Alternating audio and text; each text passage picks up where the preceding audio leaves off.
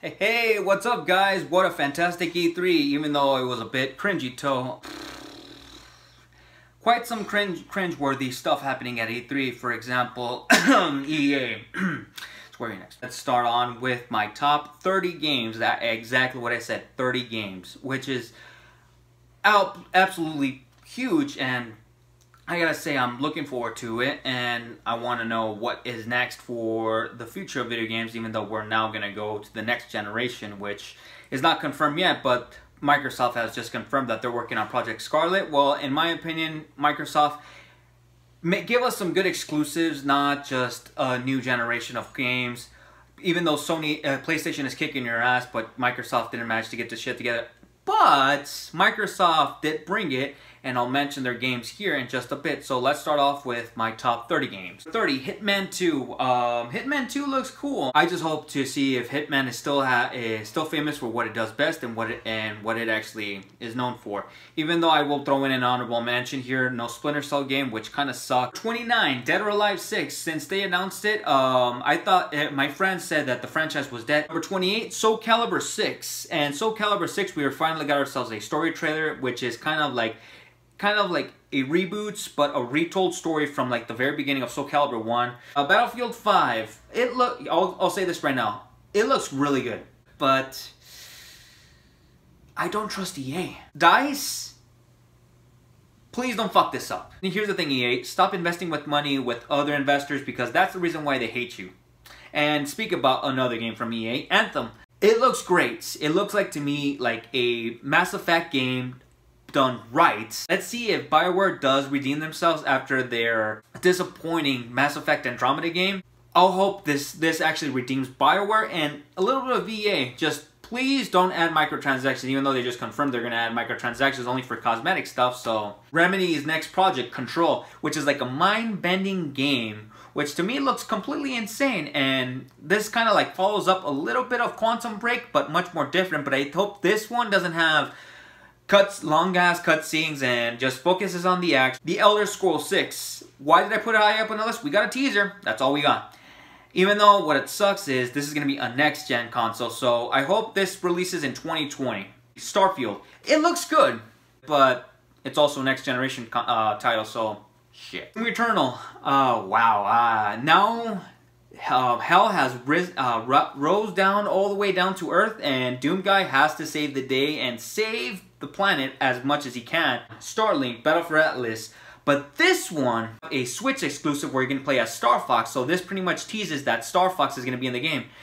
Even though there was rumored of a Star Fox game, well, this is it right here, kind of. Super Mario Party. I hope this Super this Mario Party game does much better than the previous Mario Party games. Even though it's cheesy mini games that has happened in the past, I hope this one does much more better than the previous games. Fallout 76. Even though this is a multiplayer uh, Fallout game, I hope they add more single player campaign to this. And from the looks of it, it's coming out this year, so yeah. Rage 2. It looks great, and it's id Software's um, game with um, with a little bit of elements of Doom and Wolfenstein.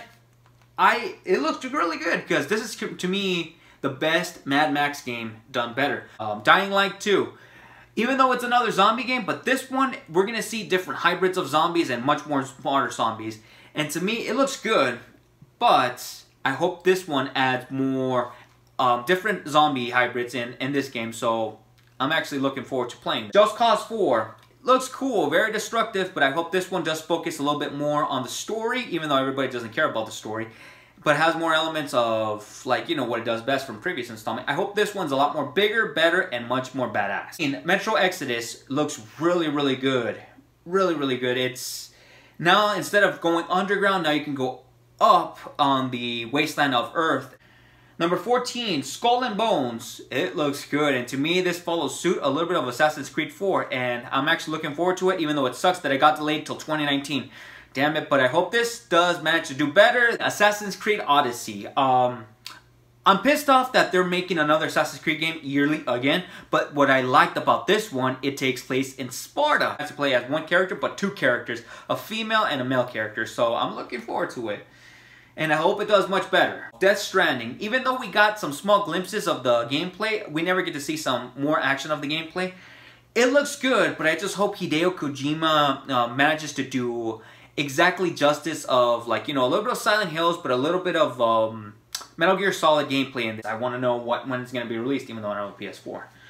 Uh, Resident Evil Remake. Resident Evil 2 Remake. Oh, it looks good. No wonder why it was quiet for the past couple of years. And now, after we got an announcement, a trailer, and a release date, I want to play it. Number 10, Devil May Cry 5. Oh, man, I've been waiting for this game for five years. Technically 10.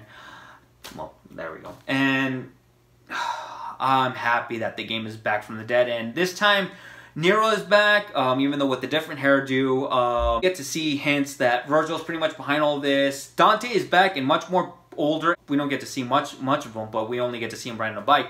I'm really looking forward to it, and I'm happy that it's not following the Dark Souls kind of elements, which is good.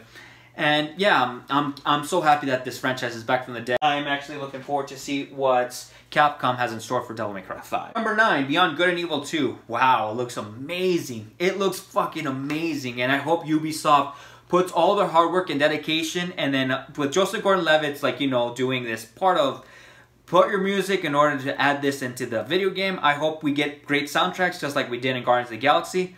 Let's see if this game does manages to blow everybody's minds because it did blow my mind, but gameplay wise and how the world is and how you can travel from different places, I hope this game manages to do much better than the first one. Even though the first one was kind of a cult classic, I do want to play the first one in order to understand the plot.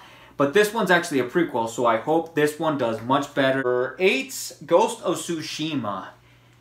Wow. Sucker Punch, this game looks amazing, and I gotta say, it's, to me, one of the most cinematog uh, cinematography in video games. It gets overlooked, but here the cinematography of how the way you fight um, characters outside, and, and, and, especially with cherry blossoms falling on uh, underneath you, is cool. And Last of Us Part 2, even though I didn't even see the gameplay itself. Looks amazing, and to me, I think uh, Naughty Dog is putting all their hard work and dedication on this game, and it shows. Joel is not a playable character in this one, but now we got Ellie as a fully playable character. She's older now, so you can fully control with her, but still. Number six, Spider-Man.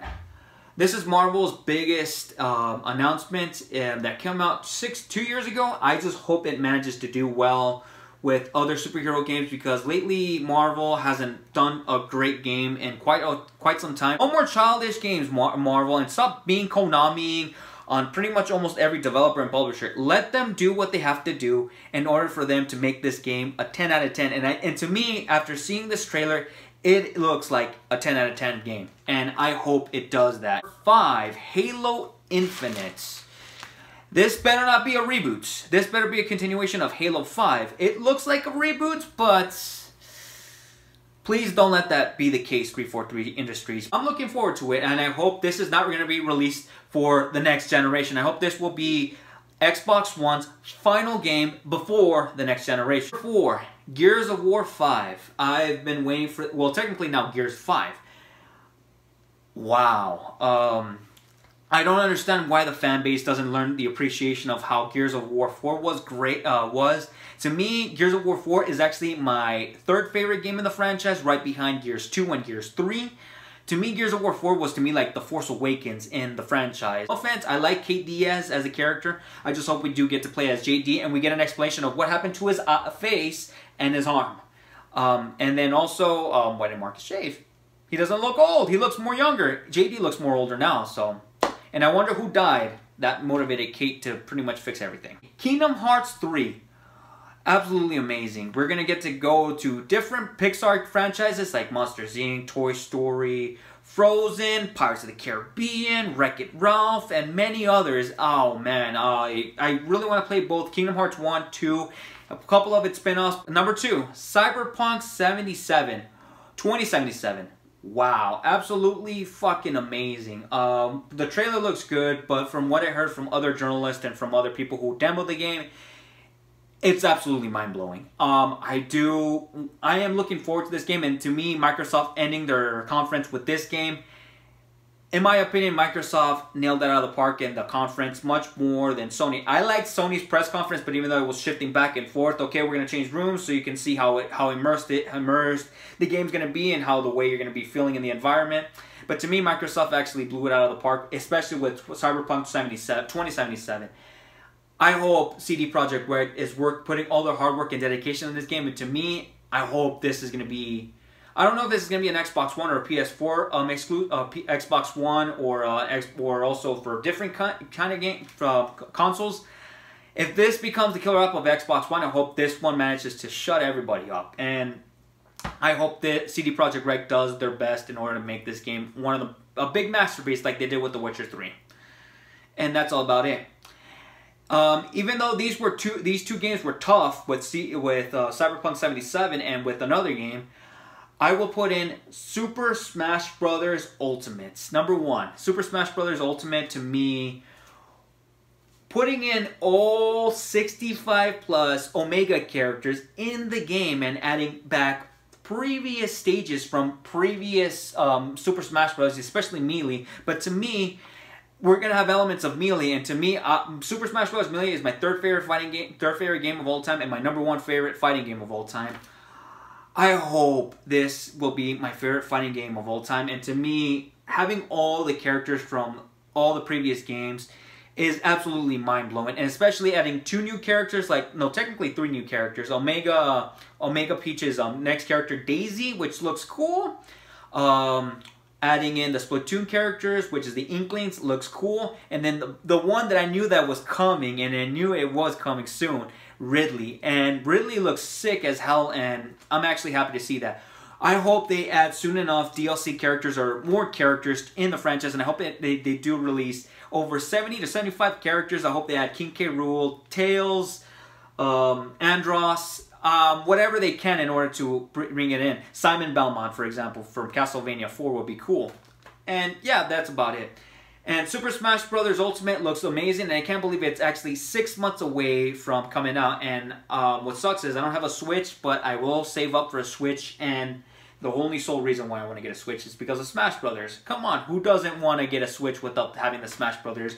And on the go too, which is absolutely cool. Even though the first one was actually Super Smash Bros. for the 3DS, which is cool. But then this one with set over 65 characters absolutely mind blowing. And adding in a bunch of new state, a bunch the stages from previous games, and then adding some different elements from Melee. That's awesome. And yeah, to me, E3 was absolutely fantastic. I will put in some dishonorable mentions here from Nintendo. They never did reveal Donkey Kong Country 3, which sucks. Metroid Prime 4, which was MIA. I hope Bandai Namco and Nintendo are working their hardest to make this game cool. And F-Zero, which sucks to me, and I'm mad. But anyways, guys, that's ends it. Um, next up after this, I'm going to be doing my Marvel vs. Capcom Infinite review. My promise. I'm not going to break my promise, guys. It's next after this. So stay tuned next time for Nerd of the 90s. E3 2018 was cool, even though it was a bit cringy, especially with EA and Square Enix, and a little bit on Bethesda. But to me, E3 2011, it was my, my favorite E3 of all time. So I hope uh, with this E3, my second favorite of all. I just hope the next generation and these games that have been announced are not disappointments, but are much more higher than everything. Especially UEA, get your shit together. Stop fucking around. And same with you, Square Enix. Give us the game, uh, announce, just at least give us, you know, like, spread the word, like, what happened to these games, and, you know, since you've been all hush-hush. Well, anyways, guys, that ends it up. I'll see you guys next time. Nerd of the 90s out.